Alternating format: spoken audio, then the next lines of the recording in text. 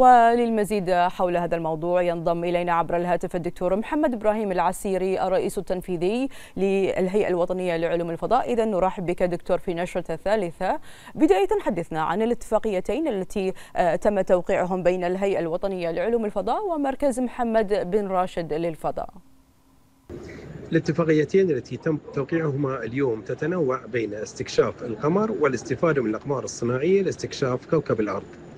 الاتفاقية الأولى تختص بتصميم حمولة بحرينية تثبت على مستكشف فضائي تابع لمركز محمد بن راشد للفضاء سيهبط بمشيئة الله على سطح القمر.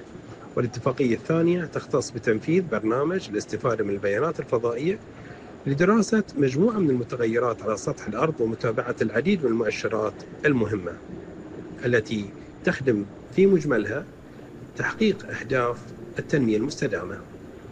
نعم دكتور إذا ما أهمية هذه الاتفاقيات وماذا ستضيف لمملكة البحرين؟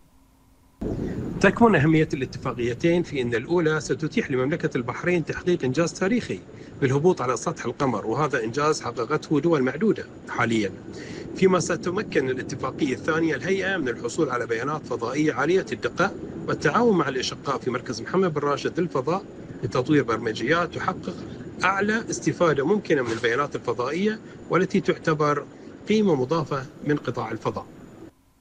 الدكتور محمد إبراهيم العسيري الرئيس التنفيذي للهيئة الوطنية لعلوم الفضاء شكرا جزيلا لك.